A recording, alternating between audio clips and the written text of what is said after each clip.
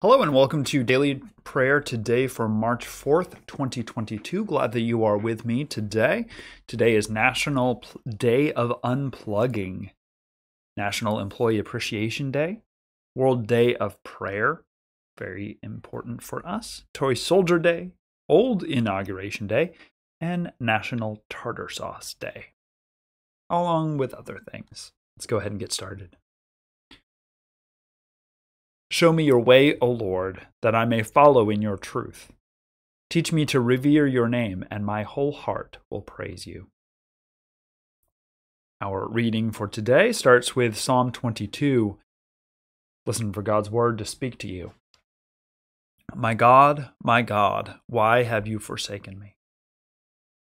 Why are you so far from helping me, from the words of my groaning? Oh my God, I cry by day, but you do not answer, and by night, but find no rest.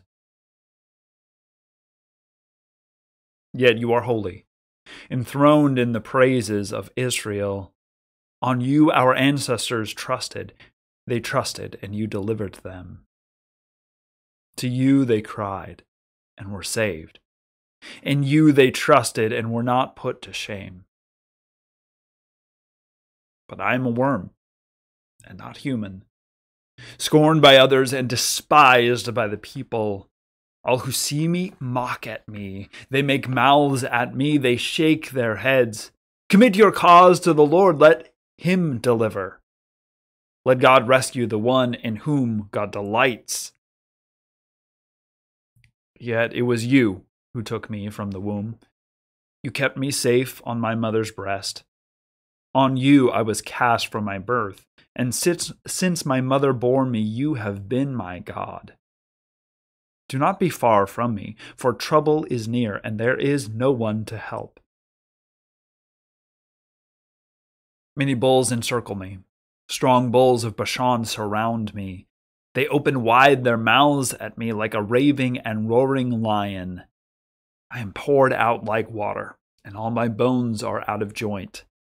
My heart is like wax, it is melted within my breast.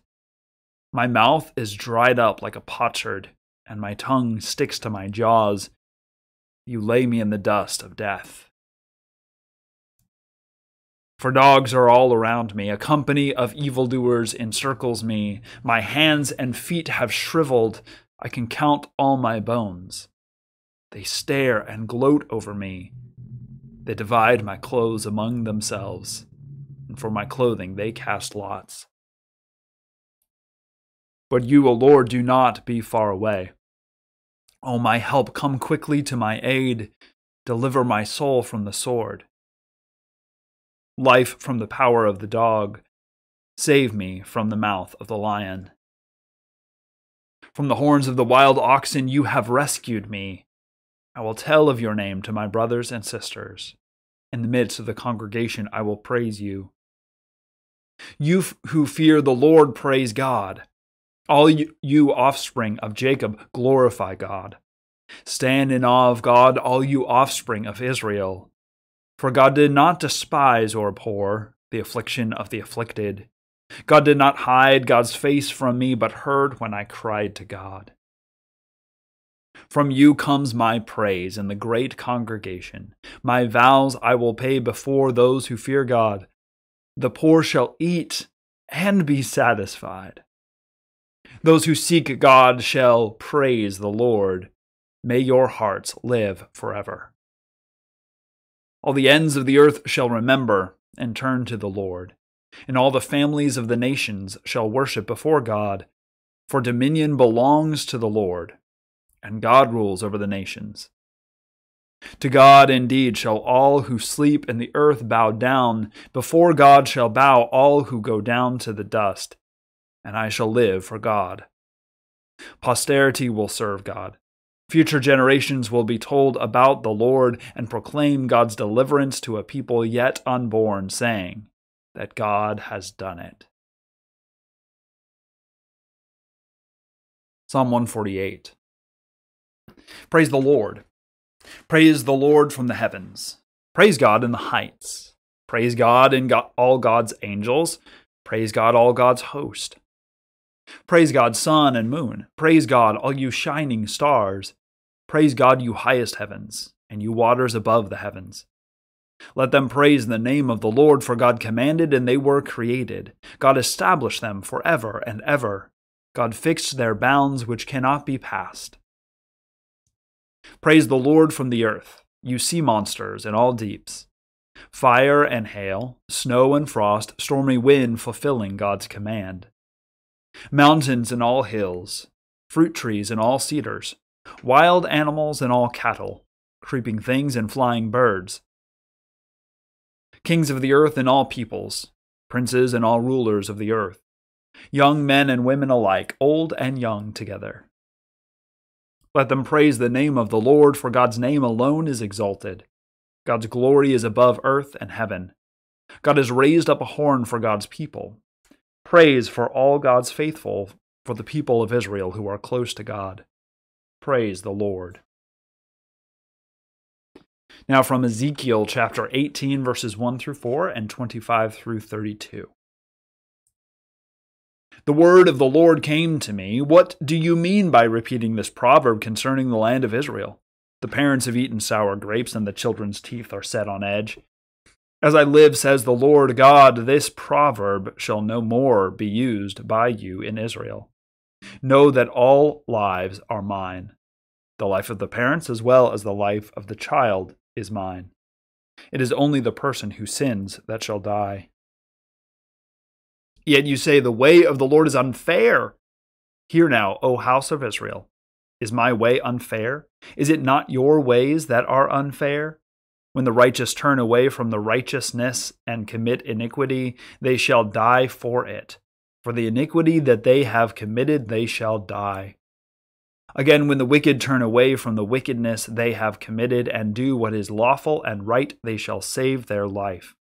Because they considered and turned away from all the transgressions that they had committed, they shall surely live, they shall not die. Yet the house of Israel says, The way of the Lord is unfair. O house of Israel, are my ways unfair? Is it not your ways that are unfair? Therefore I will judge you, O house of Israel, all of you, according to your ways, says the Lord God. Repent and turn from all your transgressions, otherwise iniquity will be your ruin. Cast away from you all the transgressions that you have committed against me, and get yourselves a new heart and a new spirit. Why will you die, O house of Israel? For I have no pleasure in the death of anyone, says the Lord God. Turn then and live.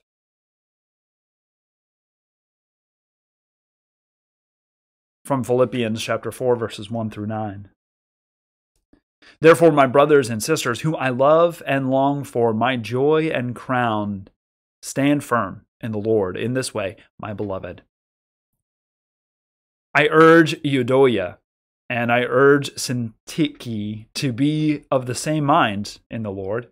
Yes, and I ask you also, my loyal companion, help these women for they have struggled beside me in the work of the gospel, together with Clement and the rest of my co workers whose names are in the book of life.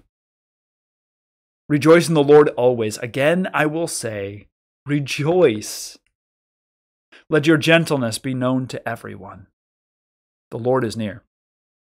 Do not worry about anything, but in everything by prayer and supplication with thanksgiving, let your requests be made known to God. And the peace of God, which surpasses all understanding, will guard your hearts and your minds in Christ Jesus. Finally, beloved, what is whatever is true, whatever is honorable, whatever is just, whatever is pure, whatever is pleasing, whatever is commendable, if there is any excellence and if there is anything worthy of praise, think about these things. Keep on doing the things that you have learned and received and heard and seen in me, and the God of peace will be with you. And from John chapter 17, verses 9 through 19. Jesus continues to pray. I am asking on their behalf. I'm not asking on behalf of the world, but on behalf of those whom you gave me, because they are yours All mine are yours, and yours are mine, and I have been glorified in them. And now I am no longer in the world, but they are in the world, and I am coming to you. Holy Father, protect them in your name that you have given me, so that they may be one, as we are one. While I was with them, I protected them in your name that you have given me. I guarded them, and not one of them was lost except the one destined to be lost, so that the scripture might be fulfilled. But now I am coming to you, and I speak these things in the world so that they may have my joy made complete in themselves. I have given them your word, and the world has hated them because they do not belong to the world, just as I do not belong to the world. I'm not asking you to take them out of the world, but I ask you to protect them from the evil one. They do not belong to the world, just as I do not belong to the world. Sanctify them in the truth. Your word is truth. As you have sent me into the world, so I have sent them into the world. And for their sakes, I sanctify myself, so that they also may be sanctified in truth. Oops the word of the Lord. Thanks be to God. So, our readings for today, uh, some great stuff. First, uh, I want to note that our first psalm was Psalm 22, which may sound familiar. It begins with um, this phrase. Um, there we go. My God, my God, why have you forsaken me? Uh, you might recognize that as something that Jesus says on the cross. He is quoting this psalm. And there's quite a bit in this psalm. Um, things like, uh, I can count all of my bones, that uh, there, there are people who are casting lots for my clothes, all of these sorts of things. The, the surrounding by enemies saying, You trusted in God, let God save you. Where is your God? All of these things sort of all fulfilled at the crucifixion, specifically in, in Matthew's gospel, where he makes a very clear connection between Jesus and David, as well as Moses. Um, but yeah, Psalm 22. It's it's a it's a very lenty kind of psalm. Then we have uh, from Ezekiel. Ezekiel is a prophet uh, who is called to the nation of Israel um, before the destruction. And it starts off with this idea, this proverb, right? The parents have eaten sour grapes and the children's teeth are set on edge. That there's this phrase that basically saying that the parents do something and the, the repercussions come on the children. Boy, do we know that that is the truth. And yet, I think what's going on here is Ezekiel is almost saying that you're using that as an excuse. That we won't actually experience the repercussions of our actions. It'll just be passed on to our children, so who cares? That kind of sounds familiar too, doesn't it? And he goes on with this idea of like, you, think God is unfair? No, it's actually you who are being unfair. You're trying to pass these things along to others. You think that you're not going to experience the repercussions of your own actions. Well, guess what? God is fair, and you are going to, to experience the repercussions of your actions. You shall die for it. For the iniquity that they have committed, they shall die. Um, there is judgment, he says. Therefore, I will judge you, O house of Israel, all of you according to your ways, says the Lord God. Repent and turn from all your transgressions, otherwise, iniquity will be your ruin. Cast away from you all the transgressions that you have committed against me, and get yourselves a new heart and a new spirit. Why will you die, O house of Israel? For I have no pleasure in the death of anyone, says the Lord God. Turn then and live. Ezekiel here before the destruction is saying, you have a chance. You can turn things around. You can repent. You can change the, your ways. You can take yourself off of this path rather than just heading down this path and leaving it to future generations. You have a chance to do something. Again, the call comes back on us. This is not somebody else's mess to fix. This is not somebody else's problem to deal with. You see the problems that are going on. Do something about it. Repent, turn from these things, make changes. You are responsible. The repercussions of our own sins come upon us. Now, there may be repercussions for those who come after us, absolutely. But shouldn't it be incumbent on us to make sure that we deal with the problems that we see rather than just passing them off to future generations? This has widespread application. We could talk about eco- our ecology, the way that we use our resources on the earth, and where that is going. We can talk about our economy and how that is geared towards continual inflation, where those who have have more, and those who don't have will never have. We could talk about the the social problems that we have that we carry on, we we continue on, even though we know that there are problems with them, but we just keep them going because it doesn't affect us that much all of these things, right? The same idea. You see the way things are going, do something about it. Don't just let it go on to the, your children.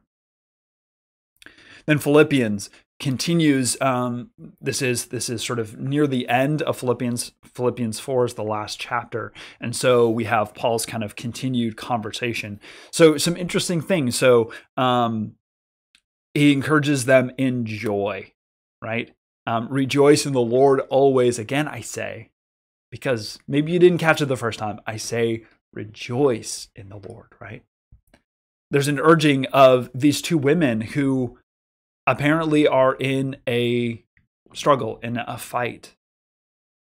He says, encourage them, right? Help them to reconcile with one another because that's where we should be as the people. Together, they can work for the gospel we also have, he says very clearly, they have worked right alongside me for the gospel. Again, these are two women. Not that we have to, you know, proclaim this in our tradition a huge amount, but just to rem- to remind ourselves that women were a very important part of the leadership and ministry of the early church. Um, so that's just a reminder that that's the case. Um, rejoice again. Uh, I said, and uh, again, I say rejoice. Um, let your gentleness be known to everyone. The Lord is near. Do not worry about anything, but in everything by prayer and supplication. By in everything by prayer and supplication with thanksgiving, let your your request be na- made to God, and the peace of God, which passes all understanding, will guard your hearts and minds this is some really quotable stuff. Whatever is true, whatever is honorable, whatever is just, whatever is pure, whatever is pleasing, whatever is commendable, if there's any excellence and if there's anything worthy of praise, think about these things. Implied there is don't think about all the other things. Keep on doing the things that you have learned and received and heard and seen in me. The God of peace be with you. Wonderful, wonderful words from Paul. Then we have from John, um, this is Jesus' continued prayers for his disciples. This is the end of the farewell discourse. He's, he says he's not asking on behalf of these disciples. No, he is asking on their behalf, not on behalf of the world, but on behalf of those whom you gave me because they are yours. He prays for God's guidance he prays for God's protection because he knows that he's leaving. So Jesus prays for his disciples who will be remaining behind him. And this prayer extends to us. So now let us pray together during this time of Lent. Satisfy us with your love in the morning, and we will live this day in joy and praise. We praise you, God, our Creator, for your handiwork in shaping and sustaining your wondrous creation. Especially, we thank you for the ministry of all the baptized. Those who provide for public safety and well being,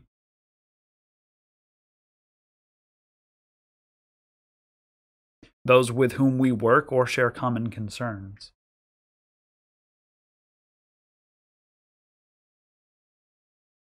Opportunities to share good news with others.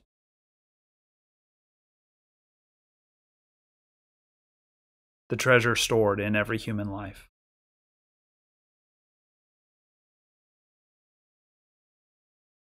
People of God, for what else do we give thanks? We give thanks for your protection on us, Lord God, for the work that you have called us to this Lenten season.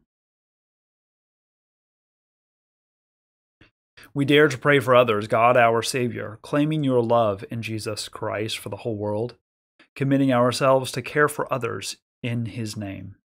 Especially, we pray for the church in Asia and the Middle East.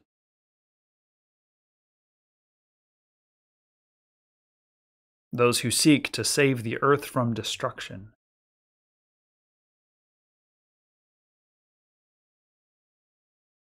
Those who work for the benefit of others.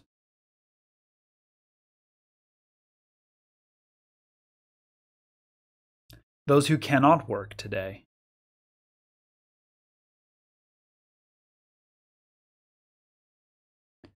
all who proclaim your saving love.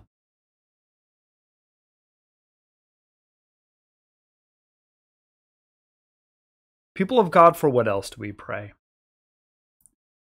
We pray for the family and friends of Kathy, a former member who has been living in Virginia. For Bobby, my uncle, who's in medical rehab. For a friend of Beverly's who is, who is in ill health for the family and friends of James, a 38 year old son of Bruce and Donna, classmates of Bill's, who passed away. We ask for continued prayers for Jane Ann, who is recovering from pelvic, a uh, pelvic fracture. We pray for Patrick, a friend of mine, who asked for a prayer for his friend.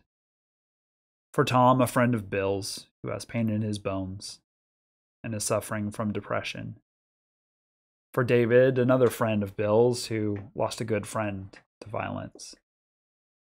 The family of Bonnie, Dennis's sister in law, who passed away following open heart surgery.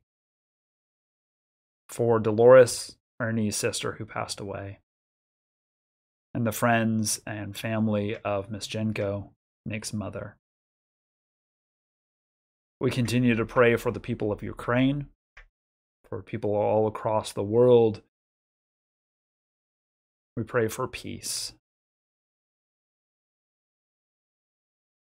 God of love, as you have given your life to us, so may we live according to your holy will revealed in Jesus Christ. Make us bold to share your life and show your love in the power of the Holy Spirit. Grant this through Jesus Christ, our Redeemer and Lord. Amen. Now let us continue to pray using the words that Christ taught us, saying, Our Father, who art in heaven, hallowed be thy name. Thy kingdom come, thy will be done on earth as it is in heaven. Give us this day our daily bread and forgive us our debts as we forgive our debtors. Lead us not into temptation, but deliver us from evil. For thine is the kingdom, and the power, and the glory forever. Amen. Now may the God of peace be with us. Amen. Bless the Lord. The Lord's name be praised. Thank you so much for joining me today for daily prayer. Join me uh, for more. I'm not sure if I will get to one tomorrow. To be honest, we'll see. Join us on Sunday for worship at 10:30, and uh, we will also have a youth group starting this Sunday and confirmation class. So check those out as well. Um, if you want more information, we'll give it to you like this video, share it with someone else, click on the subscription and the notification button. Check out our Facebook and Instagram accounts as we have a devotion for the Lenten season that is written by various staff. So join us for that. Our liturgy today came from the Book of Common Worship of the Presbyterian Church USA 2018 edition, and our readings came from the uh, New Revised Standard Version of the Bible. Thank you for joining me. Have a blessed day. We'll see you next time. Bye.